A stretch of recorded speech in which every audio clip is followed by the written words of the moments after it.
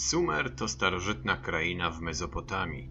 Nizina utworzona przez Eufrat i Tygrys, który bieg znacznie się zmienił od tamtych czasów. Pierwsze osady sumeryjskie powstały około 4,5 tysiące lat przed naszą erą. Poziom morza był wówczas niższy od obecnego, a jego linia brzegowa była głębiej. Nie wiadomo skąd przybyli pierwsi mieszkańcy, więc stwierdza się, że byli potomkami wcześniejszych osadników, czyli Sumerów. Typowe były wsie i obozowiska w najwcześniejszym okresie. Były też i miasta, jak Eridu, Ur, Uruk. To tam powstawały monumentalne budowle wyróżniające te osady od innych. Ludność zajmowała się głównie rolnictwem i hodowlą, było też łowiectwo i zbieractwo wodnego ptactwa. Miasta i uroczystości religijne były momentem wymiany handlowej z przybywającymi pielgrzymami. Po tym wczesnym okresie następuje kolejny, który charakteryzuje się niezwykłym rozwojem i przemianami niespotykanymi w innych okresach. Masowo zasiedlano tereny na północ, rozwinęło się rolnictwo, zaczęto używać radła. Znikają mniejsze osady wokół Ur i Eridu. Powstają nowe miasta jak Nippur. Ludność chroni się w murach miast, bojąc się pojawiających się coraz częściej najeźdźców. Im dalej na północ, tym bardziej bezpiecznie. To też małe osady wokół Uruk i Nippur rozwijają się. Najeźdźcami byli nomadzi z pustynnych terenów, których nęciły bogactwa Sumeru. Dzięki rozrostowi miast rodziły się nowe myśli i idee. Powstały ogromne kolumny w budynkach świątynnych, nowy wynalazek architektoniczny, a ściany wewnątrz pokrywane były freskami. Doskonalono też w tym okresie pismo, wynalazek zdolny pokonywać ogromne odległości czasu i przestrzeni. Dzięki niemu łatwiej było zarządzać rozległymi terytoriami. Początkowo była potrzeba zapisywania ilości rzeczy, inwentarzu. Jak się zdaje, to właśnie zrodziło powstanie pisma. Z czasem znaki zostały uproszczone, łagodzono je i stylizowano piktogramy z czasem zastąpiono czysto fonetycznymi wartościami znaków. W tym okresie w miastach władzę sprawowało zgromadzenie ludowe. Sądziło ono też przestępców. Jednak co wyróżnia miasta Sumeru, to Liga Nippur, którą utworzono, by sprzymierzyć wszystkie miasta Sumeru. Jak łatwo można się domyśleć, Liga powstała wobec narastającego niebezpieczeństwa ze strony koczowników z północy i zachodu. Historii Sumerów rozpoczyna się nowy okres, owiany tajemnicą epickich i bohaterskich opowieści. Należy on jednak do prehistorii. Wiemy jedynie, że wprowadzono wówczas nowe rodzaje unowocześnień w budownictwie i sztuce. Działania ligi przyniosły odprężenie w stosunku do najeźdźców. Mimo wszystko nadal znikały wsie wokół miast, które bardzo gwałtownie rozrastały się. Miasta otoczano również murami, co było przyczyną? Otóż zaczęły się wewnętrzne rywalizacje tych ogromnych miejskich ośrodków. Rywalizacje podyktowane rządzą łupów i panowania, cechą tak charakterystyczną dla ambitnych wojowniczych władców. W tym okresie to miasto Kisz narzuciło panowanie na inne ośrodki Sumeru. Epickie opowieści o bohaterach z tego okresu Mówią nam, co potwierdza również tradycja z sumeryjskiej listy królów, że pierwsza dynastia powstała w Kisz, ale w wyniku walk i podstępów władza królewska przeszła w końcu do miasta Uruk.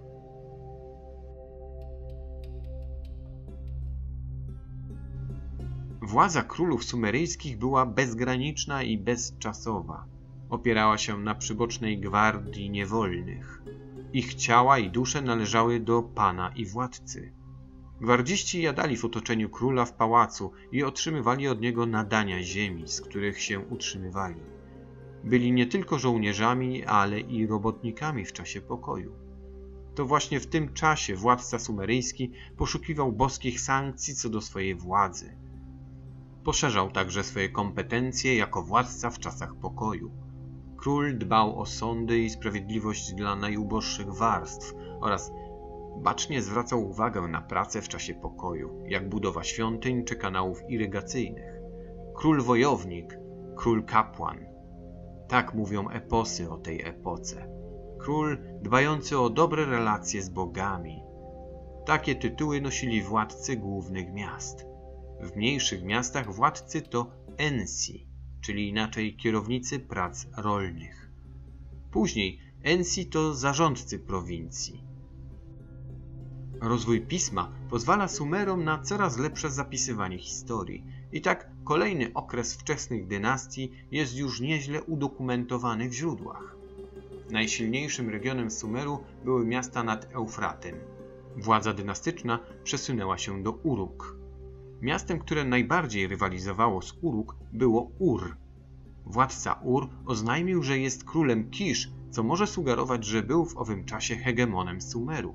Jego synowie nie tytułowali się już w ten sposób, a więc prawdopodobnie władza przeszła na innego władcę sumeryjskich miast państw.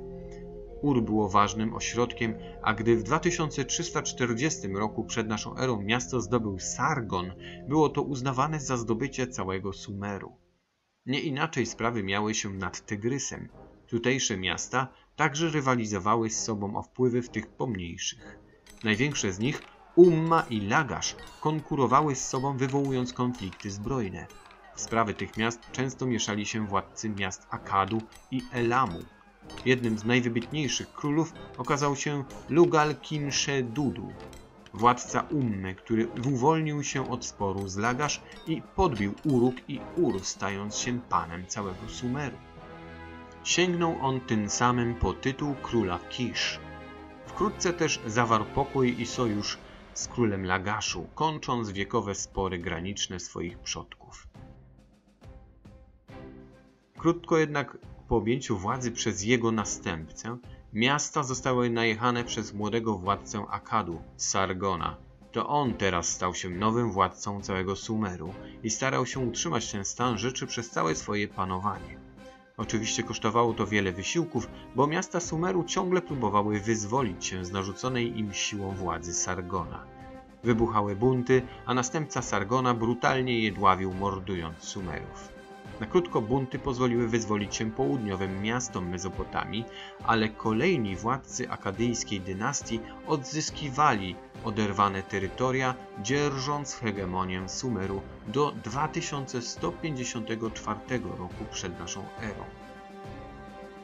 To w tym burzliwym okresie doszło do sukcesów gospodarczych i politycznych miast państw Sumeru. Coraz bardziej bogaciła się warstwa uprzywilejowana kosztem tej najbiedniejszej, często mieszkającej w nędznych szopach. Rdzeniem miast były świątynie, pełniące funkcje administracyjne. Na ich czele stał Ensi, mający do dyspozycji rezydencję należącą do kompleksu świątynnego. Cała rodzina Ensiego kierowała pomniejszymi świątyniami, począwszy od jego żony, a skończywszy na dzieciach. Gospodarka opierała się na rolnictwie. Odmiennym od świątyni przybytkiem był pałac, zamieszkiwany przez władcę. Władcę, który nadal był kierownikiem, obrońcą i stróżem praw obywateli. To w tym okresie powstały właśnie słynne reformy Uruinginy. To one miały zapewnić sprawiedliwość i ochronę dla najuboższych mieszkańców. Ciągle rozwijano pismo oraz sztukę reliefową. Tymczasem władza dynastii akadyjskiej ciągle słabła. Pojawił się niebezpieczny wróg z północnego wschodu Gutejczycy. Pojawili się niespodziewanie, grabili i znikali nim na miejsce przybywały oddziały wojsk obronnych.